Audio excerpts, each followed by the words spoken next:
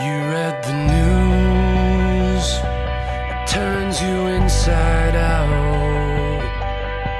And everybody feels the same as you. In uncertain times, the uncertain